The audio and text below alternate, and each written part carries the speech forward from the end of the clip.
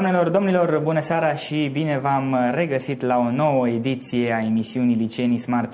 Numele meu este Eduard Constantinescu, iar astăzi am uh, am pregătit pentru dumneavoastră un subiect uh, cu totul și cu totul special, iar uh, pentru asta vreau astăzi să ne bine dispunem cu muzică folk.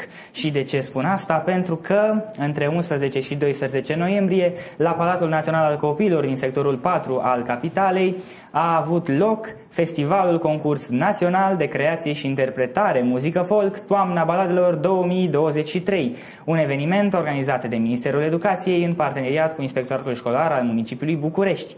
Iar uh, pentru că orice festival, um, mai ales orice concurs, nu se poate termina decât cu un câștigător, cu un singur câștigător, am astăzi uh, invitat în platou câțiva dintre câștigătorii trofeului festivalului Toamna Baladelor, ajuns la ediția 21. Iar uh, pentru, pentru a începe prezentările am să încep chiar cu micii campioni. Alături de mine se află Andrei Năftică și Cosmin Sincea, elevi în clasa 8 la Școala Gimnazială Specială Specială pentru Deficienți de Vedere. Alături de ei în platou astăzi se află doamna director a școlii, doamna, Caz- doamna Cosmina Cazan, alături de domnul profesor educator, cel care a coordonat și a înființat trupa Veverițele Năzdrăvane din care, cu care ei au câștigat trofeul, domnul profesor Andrei Vâlcu. Vă spun tuturor bună seara și bine ați venit la, la noi în emisiune. Nu, nu pot decât să, să fiu curios și Andrei și Cosmin cu, cu voi am să încep. Vreau să știu cum vă simțiți că aveți acest titlu, pentru că ați câștigat festivalul Toamna Baladelor. Cum este să fii câștigătorul unui festival de muzică folk cu așa, uh, cu așa un nume? Ce să mai în rândul școlilor și liceelor? Este foarte bine, uh, sincer, mă simt foarte emoționant, mai ales pentru că noi amândoi uh, am repetat mult și am uh, muncit din greu pentru a ajunge la acest trofeu și mă simt foarte mulțumit de ce am făcut și mă bucur că oamenii ne ascultă cu drag și cu mult... Uh, cu multă bucurie în exact, suflet. Exact, Da. Cosmin, pentru tine cum e? Cum te simți? Mă simt foarte bucuros deoarece mi s-a zis că în alți ani nu a fost luat trofeul de școala noastră. M-am simțit bucuros că uh, trofeul a ajuns în școala noastră și cu toate că se putea mai bine, mă bucur. Da, întotdeauna se poate mai bine și mi-a zis domn profesor asta înainte de emisiune, mi-a zis că ei sunt cei mai mari critici ai lor și au tendința să, să fie exigenți cu, cu munca pe care o depun. Exact. Domn profesor, vă întreb și eu dumneavoastră, ați fost alături de ei pas cu pas, ce înseamnă pentru dumneavoastră acest premiu, acest trofeu, această recunoștință, pentru că o parte din laude vă revin și dumneavoastră și doamnei Vâlcu, cu, cu care alături de, alături de care ați coordonat trupa. Uh, suntem uh, și noi foarte emoționați și de fiecare dată când am participat la Toamna Baladelor și la orice concurs la care, la care participăm, la orice apariție în, în fața publicului, uh, trăim intens fiecare moment. Bineînțeles că suntem foarte bucuroși și ne bucurăm în primul rând pentru reușita lor este o confirmare a calităților lor. Um, este un uh, eveniment care ne aduce um, încredere în forțele proprii. Este o, o confirmare a faptului că se poate. Eu îi cunosc și uh, știu um, calitățile lor și potențialul lor și mă bucur că sunt niște pași concreți, să spunem așa, în recunoașterea acestor calități.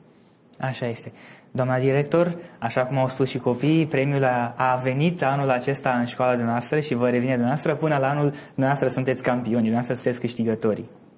Da, și eu sunt uh, foarte emoționată. Mulțumim de invitație în numele colegilor mei, al uh, celorlalți copii, pentru că trupa mai are încă trei copii în componență, um, Petruța, Roberta și Ionuț, care astăzi n-au putut să fie alături de noi. Și sunt uh, foarte mândră de ei, n-am avut nicio emoție și ei știu și le-am spus și le-am transmis și mesaje pentru că îi știu ce pot și cum pot. Um, au, ei au avut o misiune foarte dificilă. Trupa Veverițele Năzdrăvane a câștigat în ultimii șase ani locul întâi la festivalul uh, Toamna Baladelor, chiar dacă componența a fost alta. Copiii au crescut, Andrei și Adela, soția domnului profesor, s-au ocupat uh, voluntar de această trupă care s-a înființat în urmă cu vreo 9 ani și care a adus, cred că, cele mai mari bucurii pe care uh, o comunitate poate să, să le aibă, în afară de educație pe care noi uh, o desevim, bineînțeles, și pe care încercăm să o dăm de calitate copiilor, prin activitățile extrașcolare și extracurriculare și prin această formație, trupă, veverițele năzdrăvane, copiii au ajuns uh, uh, cunoscuți și ne bucurăm că din spate vin alte veverițe. Și misiunea lui Andrei și a Adele este să descopere uh, micile veverițe, deja există și trupa mini-veverițele, iar Andrei cu Cosmin uh, sunt uh, copii care au aceste, aceste calități. Au fost înzestrați de la Dumnezeu cu un auz absolut și um, dragostea lor față de muzică, autodidacți. Perioada de pandemie uh, au ținut legătura cu domn profesor și atunci lucrurile au început să meargă așa mai spre profesionalism, ca să spun. Da, mulțumesc mult de tot, iar uh, acum nu se poate să nu întreb pe, pe Andrei și pe Cosmin cum, uh, cum, cum au reușit ei să rețină, să rețină versurile cântecului doar prin, doar prin memoria auditivă, pentru că, așa cum, uh, cum știm, odată ce pierdem un simț, altul ni se dezvoltă și ei mi-au zis că în cazul lor este auzul. Așadar, vă dau cuvântul vouă, dragilor, să ne spuneți care, cum, cum vă descurcați voi și așa cum mi-ați zis și cum vă descurcați în spațiu. În primul rând, uh, prin repetiție, reținem foarte mult versurile. Noi repetând uh, piesele și uh, ascultându-le de mai multe ori, încercăm să le ascultăm cu atenție, ca noi să putem reține foarte bine versurile și în același timp, uh, după ce le reținem, deja putem să putem să le demonstrăm uh, profesorilor noștri ce am învățat. Deci totul se face prin repetiție, asta o spun. Știți cum este vorba, repetiție este mama învățături.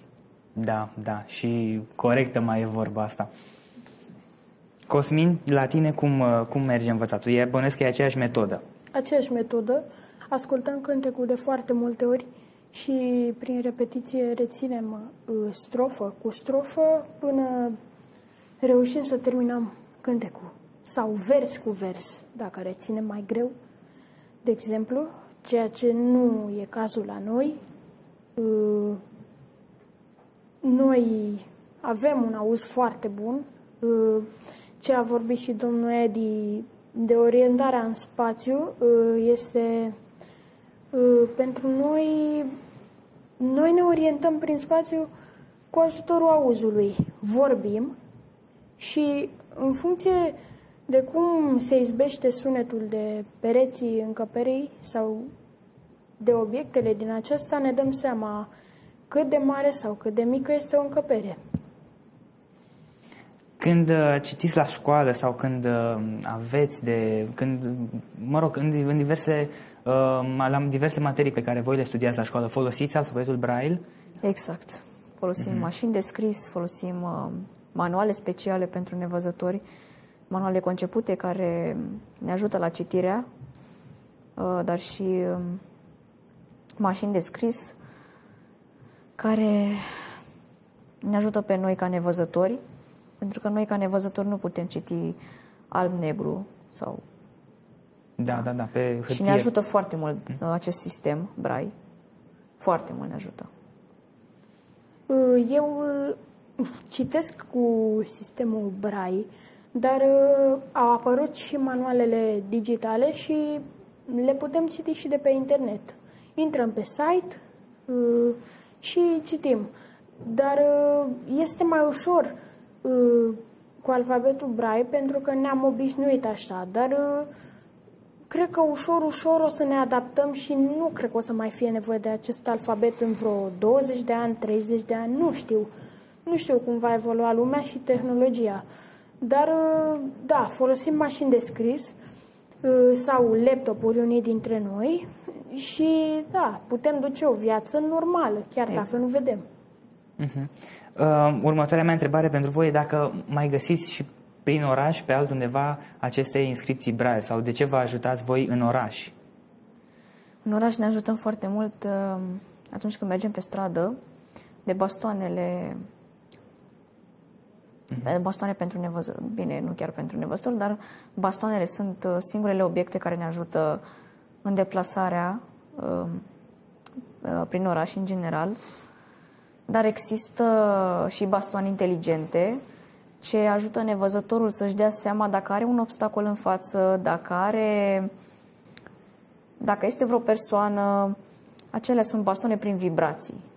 Sunt foarte utile, doar că acestea costă foarte mult și uh, nu oricine își permite să își uh, să-și achiziționeze un astfel de baston. Da, da, prin uh, răspuns haptic bănuiesc, nu? Prin vibrații, da. Exact. Da, exact. prin vibrații, aceste bastoane sunt uh, mai costisitoare, să zic așa. Rămânem la metoda clasică, bastonul simplu, cu bilă sau cu rotiță, uh, pe care îl dăm stânga-dreapta prin fața noastră, să identificăm obstacolele de la nivelul solului, adică până la genunchii noștri. În rest, trebuie să ținem mâna cealaltă în față ca să nu ne lovim de, la, de obstacole de, de la nivelul capului. Acele bastoane inteligente de care a zis colegul meu Andrei îți dau uh, un feedback uh, haptic atunci când uh, sunt obstacole și la nivelul capului tău și sunt wow. mai utile, dar costă și foarte mult. Da, deci uite că tehnologia asta e bună, într-adevăr, și ajută. Puțin mai ieftin dacă ar fi și ar fi, și ar fi mult mai bine. Andrei, tu ai avut și un rol special în trupă, ca să spun mhm. așa. Tu ai uh, cântat la chitară și, nu știu, într-adevăr, uh, nu, nu știu cum ai reținut, cum ai învățat să cânți la, la acest instrument. Spune-ne, te rog, sunt uh, foarte curios să, să știu metoda din spate. Uh, toată, această, toată această treabă a început în pandemie, când, da, nu aveam tehnologie, recunosc, nu aveam telefon, nu aveam absolut nimic la îndemână. Singur, eram pur și simplu prin casă, singur, uh, ascultam muzică la TV, încercând să reproduc piesele, să le cânt la chitară. Și tot așa, exersând, exersând, am, încerc, am început să cânt la chitară. Iar uh, prin anul 2021, cam așa, când am primit telefon, atunci am început să caut tutoriale specializate să, ca, eu să, ca mie să-mi fie ușor să învăț la acest instrument. Și uh, am stat vreo 9-10 zile, mai mult de atât, până când am început să exersez bine și cu, cu cât exersam mai mult, cu atât uh, reținea mai bine uh, totul, da. Deci am făcut totul în pandemie, tocmai când nu se făcea, o, nu se făcea școală față în față. Wow, și uite, unii, unora le trebuie atâta timp ca să învețe să cânte exact. la orice instrument și ție câteva luni, nu? Exact. Atât mi-a luat. Și acum am ajuns să cânt destul de bine și mă bucur că sunt foarte apreciat și le mulțumesc tuturor oamenilor din... pentru tot ce fac pentru noi, mai ales domnul Andrei și doamna Dela și domnule directoare, bineînțeles. Da, am uh, pregătit o surpriză și pentru telespectatori. Am pregătit uh, momentul uh, câștigător de la Festivalul Concurs Național de Creație și Interpretare Muzică Folk Toamna Baladelor 2023. Așadar, ce să mai fără alte introduceri, să vedem materialul. Oamenii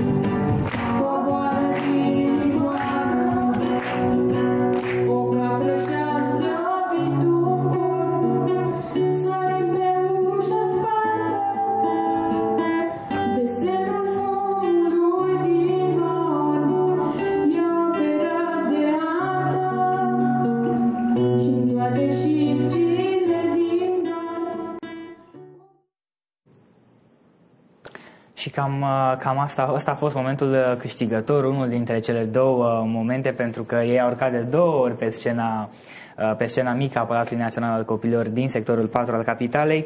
Și, domn profesor, mai departe vă dați noastră cuvântul să ne spuneți la ce secțiune ați participat anul acesta și cum s-au desfășurat repetițiile. Anul acesta a fost prima dată când am participat la două secțiuni um, și la secțiunea de creație. Anii anteriori participam de obicei doar la secțiunea de interpretare. Uh, și aici ar trebui să le remarc uh, și această abilitate, de, sunt foarte uh, creativi și atunci am uh, îndrăznit să um, aranjăm uh, un, uh, un cântec, compoziția lor, ne bucurăm că um, a fost, uh, a fost apreciată. Cred de altfel și faptul că am participat la, la două secțiuni și inclusiv la cea de creație a fost important pentru obținerea trofeului până la urmă. Așa că îi felicit încă o dată pentru inspirație pe care au avut-o și despre momentele de, de repetiție. Aș vrea să vă spun că uh, nu suntem uh, nu suntem uh, atât de conciși, de preciși în, în aceste, în aceste momente. Le lăsăm foarte mult timp să se joace, Uh, iar de, de asemenea partea aceasta de, de creativitate și de inspirație poate apărea oricând. Și eu cred că este și bucuria lor de, de a cânta, adică nu observ un efort în uh, uh, timpul petrecut împreună. Așa cum bine ne-a menționat și doamna director, istoria trupei uh, este vastă și datează de, de acum mai mulți ani. Și, dar vreau să vă întreb ce proiecte viitoare aveți pentru Veverițe Năzrăvane, mai ales că o parte din trupă, iată, este în an terminal și uh, de la anul va da, trebui să alegeți membrii noi. Clasa 8 să nu uităm și urmează și un examen. Uh, uh, întotdeauna ne-am dorit să păstrăm legătura cu foștii noștri elevi.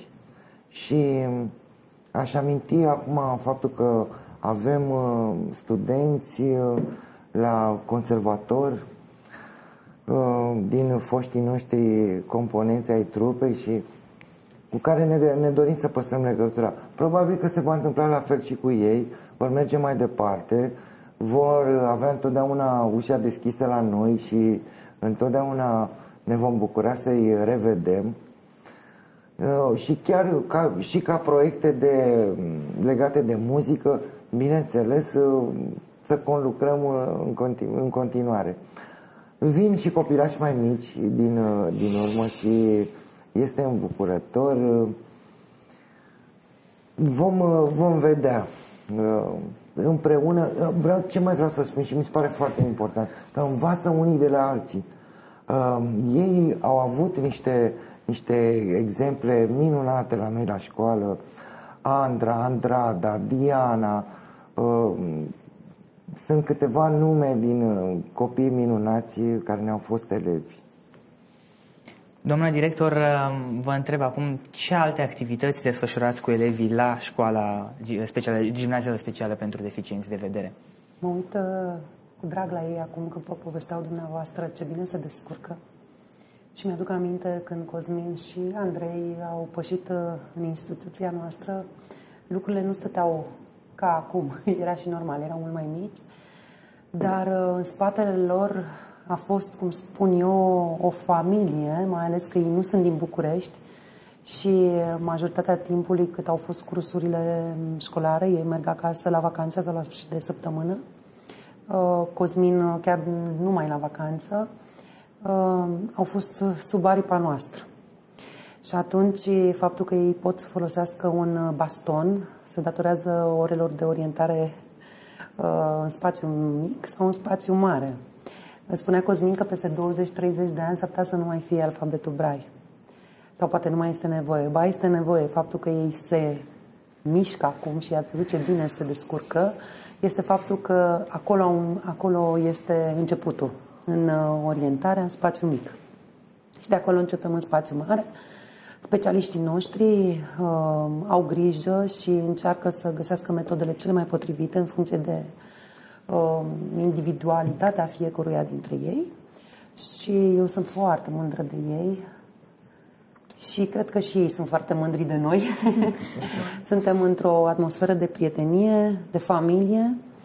Uh, au norocul și spun eu, sunt binecuvântați și ei și noi de faptul că ni s-au deschis niște orizonturi, participarea la multe proiecte europene în care uh, s-a putut uh, face deplasarea copiilor în mobilități, copiii cu deficiențe de vedere au putut. Ei de două, de două ori pe săptămână fac escaladă în uh, curtea școlii și în uh, sala de sport a școlii avem o, un perete de 10 metri. Campionul mondial la escaladă uh, la persoanele cu dizabilități este un fost elev al nostru, îl cheamă Cosmin Candoi, care vine săptămânal și ajută pe copii. Toți copiii fac escaladă. De două ori pe săptămână fac not la uh, inițiere și deja avem câțiva copii care spune domnul antrenor că vor să reprezinte România la campionatul, la Jocurile Paralimpice, um, iar activitățile pe care nu, nu acum ni se par, cum să vă spun, nu ne se mai par așa de speciale, dar sunt uh, pentru alții din exterior, pentru noi deja sunt normalitate, nu trece nicio zi foarte importantă, că e o zi laică, că e spirituală. Noi uh, avem festivalul toamnei, festivalul primăverii, Târgul de Crăciun, da, vă invităm cu mare drag, este o tradiție de șapte ani, copiii se bucură foarte tare, confecționează obiecte, pregătesc materiale uh, și este o atmosferă foarte frumoasă, dar ei pot să spună mai bine. Sunt beneficiari a multor tabere gratuite a multor excursii, prin eforturile cadrelor didactice, prin uh, bunăvoința. Iar despre Andrei nu pot să spun decât că i-am spus-o și lui și îi spun și acum și o să auziți și voi. El este erou de la SPDV. De la el a pornit tot acest uh, motor. Eu n-am făcut decât uh, poate să-mi dau uh, drumul, uh, cum să spun eu, la să fiu mai mult mamă și să-mi dau seama că copiilor le-ar face plăcere decât uh, să uh, veghez așa cu, știți, că nu prea e voie, că nu așa, dar noi am făcut să avem copii fericiți, iar motorul nostru e ăsta este, să avem copii fericiți. Foarte frumos și cred că e un motor pe care ar trebui pe care orice școală ar trebui, dacă nu-l adoptă, măcar să-l aibă în, uh, în grijă și să știe de el că asta este important.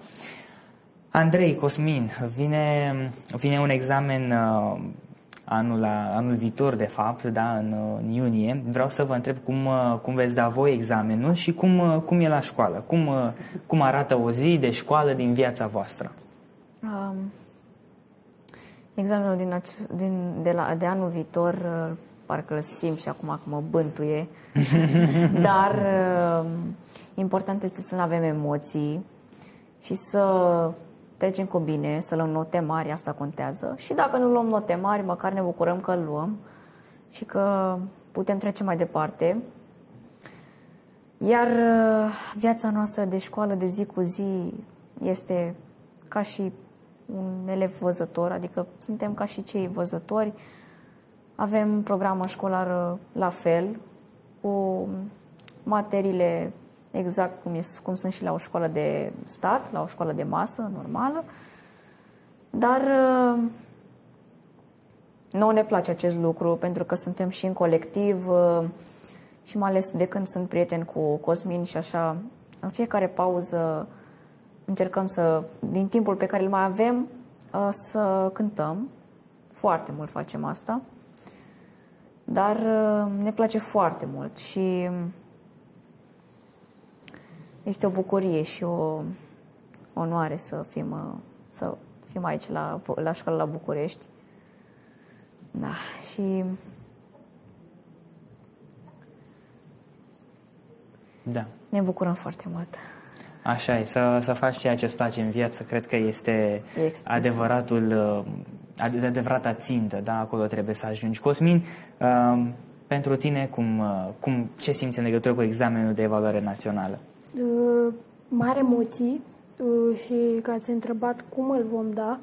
Uh, examenele uh, se vor da în brai, ne vom scrie în brai Profesorii... și profesorii vor fi niște profesori de sprijin și ei vor scrie din brai uh, pe foile de examen. Și o zi de școala noastră e exact cum a spus Andrei. Ne trezim dimineața, mergem la școală, uh, facem orele, avem și pauze și noi suntem ca niște copii normali. Uh, Cu chestii, cu Cu activitățile de rebeliuni rigoare. ale noastre. Da, ca orice adolescent avem ale, avem, suntem mai rebeli așa, nu ne place să... Da, am, suntem la o vârstă care n-ar trebui să ne deranjeze nimeni, că dacă ne Sunt foarte deranjează... cuminți. Sunt foarte cuminți Da. și foarte ascultători și mm, chiar merită să fie recompensați pentru talentul lor. Uh, Le aduc aminte la băieți că parcă a fost predestinat. Mi-aduc aminte că parcă într-un an ați primit toți de la Moș Crăciun, ce? Chitări, Chitări. Nu? Vă aduceți Chitări, aminte? da. Erați, cred că, Dar clasa eu- 5 erați, cred. Nu, cred că prin clasa 6. Da. A 5 sau 6.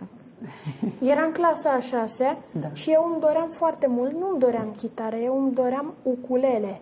Ah, da, da, da. Și mi-a pus, uh, mie mi-au adus ukulele.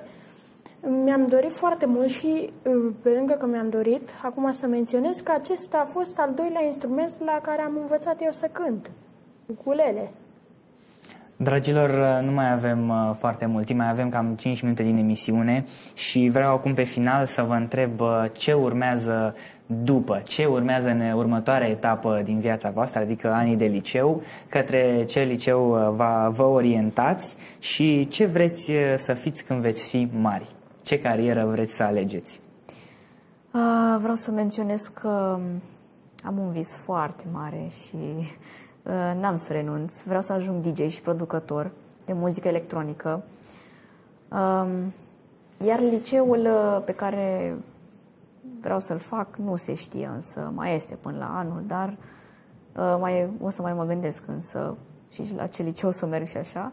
Dar vă spun că ăsta este visul meu cel mai mare, în afară de a cânta la instrumente, vreau să ajung uh, un mare DJ, așa cum, uh, da, pasiunea pentru muzică electronică a început de când eram micuț. Ascultam foarte mulți DJ cunoscuți și încercând să, ascultându-i de fiecare dată, a început pasiunea asta care nu mă lasă și mă bucur că nu mă lasă. Așa, da, foarte frumos. deci Da. De Succes, eu îți urez succes, să știi și uh, o să vin acolo unde mixezi tu, unde pui tu Da, muzică eu, electronică, vin uh, și dansez.